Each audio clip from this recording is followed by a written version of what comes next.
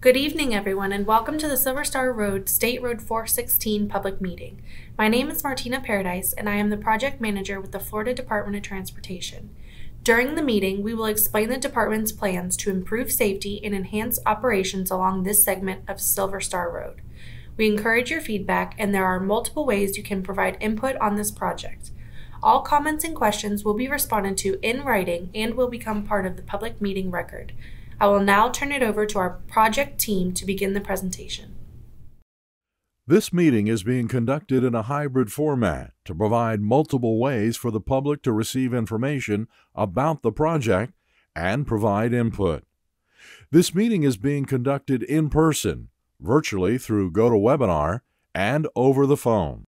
If you dialed in today on a telephone line, the PowerPoint presentation is available on the project webpage at www.cflroads.com forward slash project forward slash 448801 1.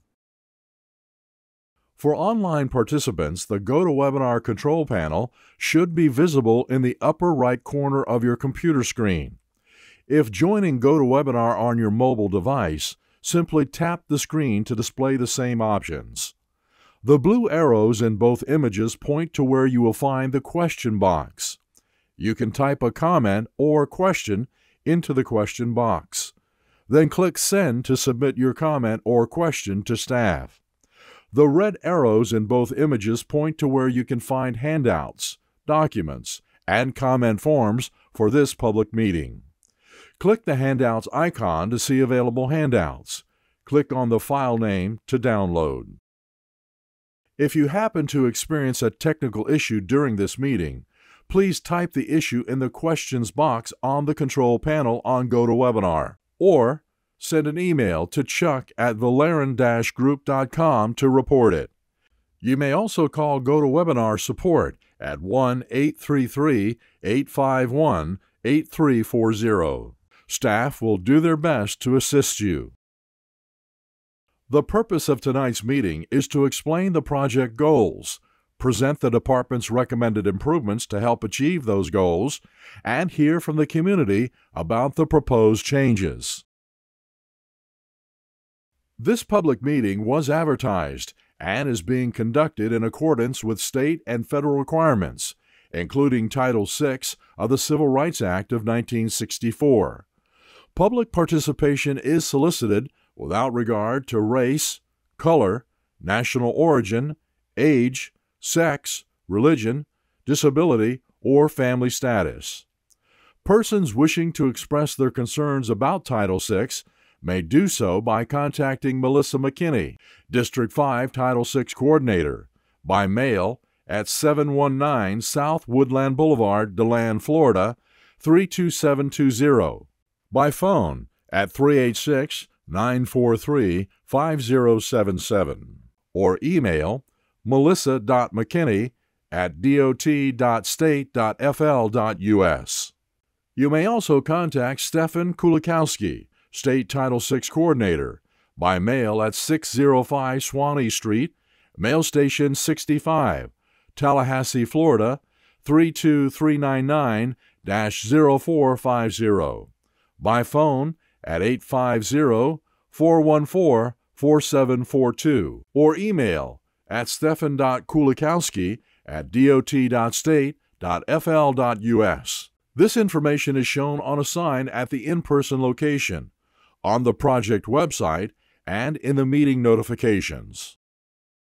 This project is in Orange County, primarily in the city of Orlando, on Silver Star Road also known as State Road 416. The project begins just east of Princeton Street, State Road 438, and ends at Orange Blossom Trail, also known as US 441. The Financial Project Identification Number, or FPID, for this project is 448801 1.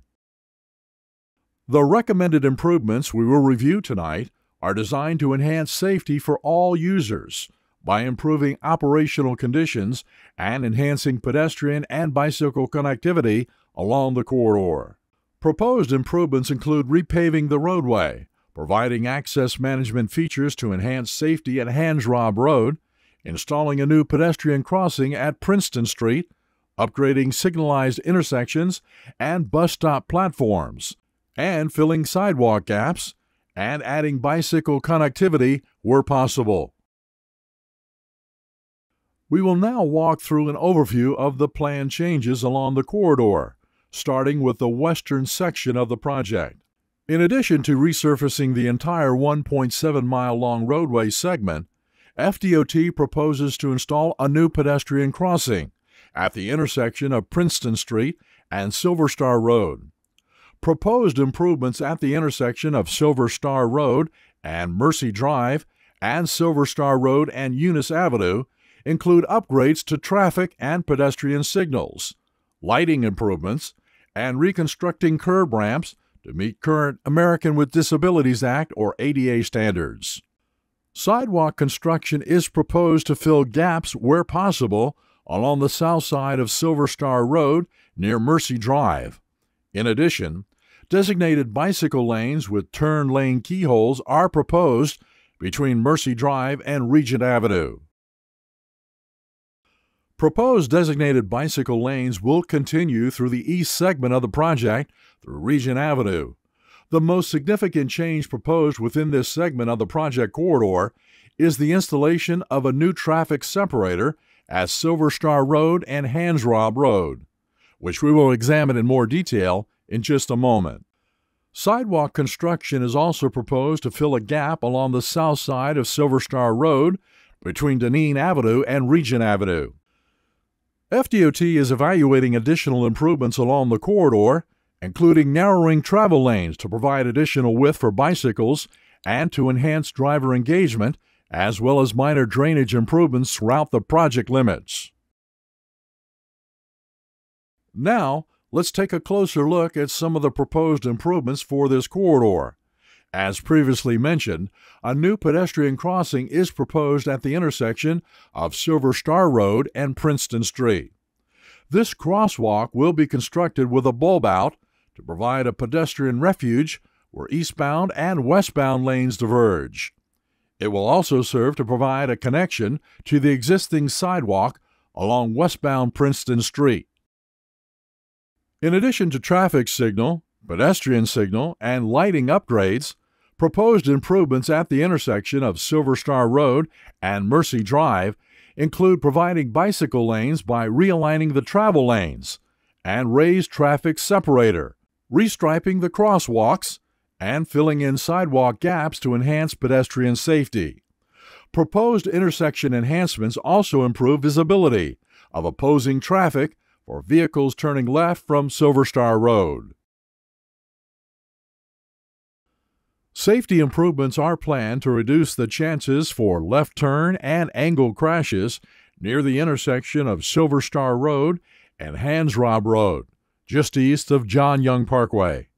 Currently, this section of Silver Star Road has one travel lane in each direction and an unrestricted center two way left turn lane. Conflicts between vehicles turning into the driveways and side streets near the intersection have resulted in numerous crashes. A basic principle of access management is to limit the number of conflict points, or points along a roadway where the paths of two vehicles can legally cross, but just not at the same time. Each conflict point is a location where a crash can occur. One way to limit conflict points is by minimizing the number of driveways and median openings and restricting certain movements at some median openings. FDOT is proposing to convert the center two way left turn lane at Hans Hansrob Road into an extended westbound left turn lane for the signalized intersection at John Young Parkway. Plans also include the installation of a raised concrete traffic separator or restrictive median, along with the channelizing islands at Hansrob Road and the Wawa driveway. These proposed changes will restrict left turns onto Silver Star Road thereby reducing the number of conflict points and improving safety in this area. Moving forward, the design of this project is in progress and anticipated to be complete in summer 2024 at an estimated cost of $1.1 million. The improvements on this project will be within the existing right of way. Construction for this project is currently funded for the fall of 2024 and has an estimated cost of $3.97 million. We encourage your input and feedback about this project, and there are multiple ways for you to participate. All public comments and questions are part of the public meeting record, and every method for providing public comments and questions carries equal weight. While comments and questions will be accepted at any time, those submitted by June 5th, 11 days after the public meeting, will become part of the project's public meeting record. All comments and questions will be responded to in writing. In person attendees are encouraged to speak with project team members, to ask questions, and provide input. To submit a comment for the public meeting record, please complete a printed comment form and return it to project staff. To submit a comment or question online, please type the comment or question in the question box on the GoToWebinar control panel. Written comments may also be submitted on the project website at www.cflroads.com forward slash project forward slash 448801 1. You may also contact the project manager directly by email at martina.paradise at dot.state.fl.us or by U.S. mail at the Florida Department of Transportation, 719 South Woodland Boulevard, Mail Station 542, DeLand, Florida 32720. You may also call the project manager at 386 943 5466 to provide verbal comments during normal business hours. The contact information is also available on the public meeting notification that you may have received by mail. To learn more about these projects, go to www.cflroads.com, type the project number 448801 1 in the search box at the top right and click Go. Then click on the project name. Public meeting materials are posted on the website now. On behalf of the Florida Department of Transportation, thank you for attending this public meeting and providing your input on this project. If you have comments or questions after the meeting, please submit them by Monday, June 5th, 2023. Contact information, a recording of this presentation, project documents, and other exhibits displayed at the public meeting are posted on the project website at www.cflroads.com forward slash project forward slash 448801 1. Have a good evening.